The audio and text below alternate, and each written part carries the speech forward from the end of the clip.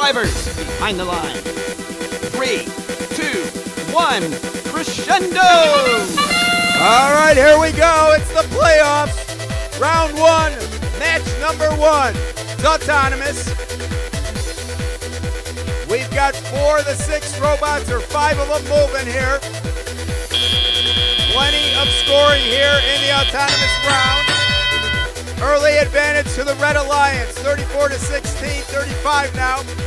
And we enter into teleoperator mode. Drivers have control of the robots. The number one seeded alliance in red. The number eight seeded alliance in blue. Winner stays in the upper bracket. Loser goes into the lower bracket. Two defeats and you are eliminated. There we go. Early advantage to our number one seeded Red Alliance. They're already up by 36 points, and there's a minute and a half to go. The number one seed is a very solid alliance. Red Robot over there playing defense, trying to get in the way of those blue robots. That's 63 17 disruptive innovation, and they are being disruptive. That is the strategy of the Red Alliance. Meanwhile, they've got some offensive machines, the Roboteers 2481. They shoot a note up into the speaker.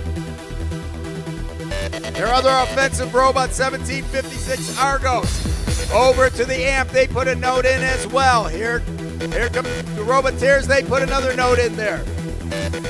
They are getting ready to amplify, and they are. So red scoring over on their side. Over on the blue side, we've still got disruptive innovation playing some tough defense, 63-17, right in front of that speaker. All six of the robots over on that side, now five of them over on that blue side. Roboteers scoring again over in their amp. We're down to the end of this match here, about 12 seconds to go. Advantage red. Robotics with a note. Going over to the blue side, trying to shoot it into their speaker.